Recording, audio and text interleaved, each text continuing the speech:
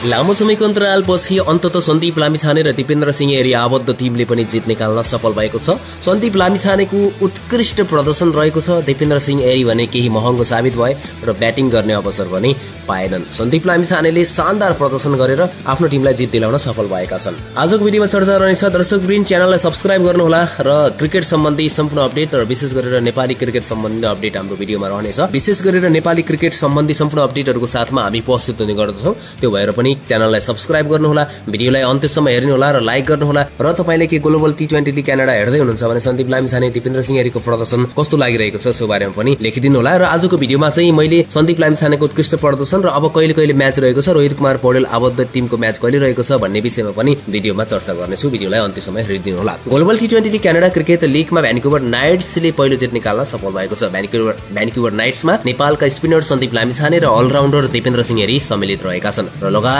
जितविहीन बन्दै आइरहेको थियो भने अहिले जित निकाल्न सफल भएको छ। सोमबार बिहान सम्पूर्ण खेलमा भ्यान्कुभरले मोन्ट्रियल टाइगर्सलाई पाँच विकेटले पराजित गरेको। टाइगर्सले दिएको एक सय दस रनको लक्ष्य पछ्याएको भ्यान्कुभरले आठ बल बाँकी रहँदा पाँच विकेट गुमाएर एक सय तेह्र रन बनाएको थियो। भ्यान्कुभरको लागि रिजा हेन्ड्रिक्सले उन्चालिस रन बनायो भने कप्तान उस्मान खजाले एकतिस रन र रिची ब्रिङटनले सत्र रन बनाउँदा डुएन पेट्रियसले पाँच रनमा अभिजित रह्यो भने टाइगर्सका अजमतुल्ला उमराजै र ग्रेहाद इराम्सले समान दुई दुई विकेट लिएका थिए। कोर्बिन बोसको नाममा एक विकेट रहेको थियो। त्यसअघि टस हारेर पहिला ब्याटिङ थालेको टाइगर्सले निर्धारित उन्नाइस दशमलव दुई ओभरमा अलआउट हुँदै एक सय नौ रन मात्रै बनाएको थियो। टाइगर्सका अजमतुल्ला उमराजै तीस सेफेन्ड रनफोर्ड बाइस र टिम सेफेन्ड दस रनमा आउट हुँदा कलिम साना एघार रनमा अभिजित रहेका थिए। भ्यान्कुभरमा मोहम्मद अमिरले सर्वाधिक तीन महत्वपूर्ण विकेट लिएका थिए। डुएन पेट्रियस हर्ष ठक्कर र सन्दीप लामिछानेले समान दुई दुई विकेट लिन सफल भएका थिए। ऋषित जोशीको नाममा भने एक विकेट रहेको थियो। यो जितसँगै अङ्क तालिकाको पुछारमा रहेको सन्दीप र दिपेन्द्र आबद्ध भ्यान्कुभर नाइट्सको तीन अङ्क भएको छ। टाइगर्सले भने शीर्ष स्थानमा उक्लिने मौका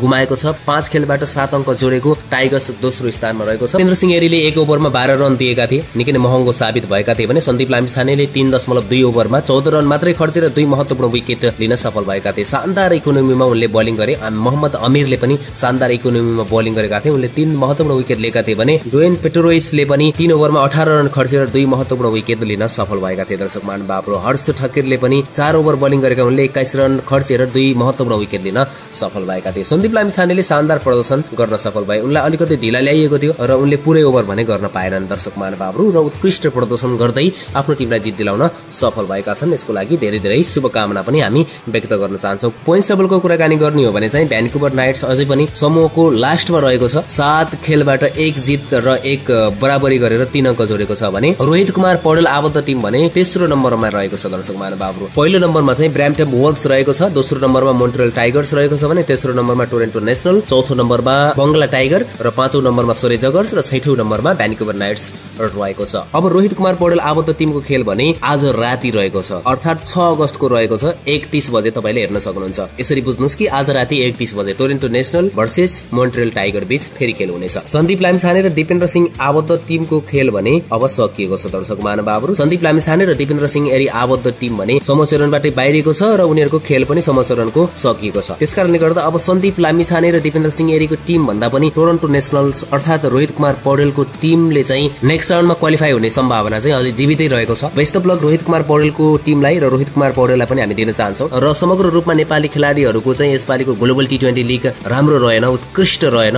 सधैँ जसो उत्कृष्ट रहने गर्थ्यो सन्दीप लामिछानेको। दिपेन्द्र सिंह एरीको भने ठिकठाक नै रह्यो। त्यस कारणले गर्दाखेरि अब आउने दिनहरूमा चाहिँ उत्कृष्ट प्रदर्शन रहनेछ। अब नेपालको क्याम्पमा पनि आउनेछन् र समावेश हुनेछन्। त्यहाँ प्रदर्शन उत्कृष्ट गर्न सकुन्। शुभकामना हामी व्यक्त गर्न चाहन्छौँ। यही नै रहेको थियो दर्शक महानुभावहरू यस भिडियोमा जानकारी। अर्को भिडियोमा हाम्रो भेट हुने अर्को अपडेटहरूसँगै अहिलेलाई भने बिदा दिनुहोस्। जय नेपाल जय नेपाली क्रिकेट।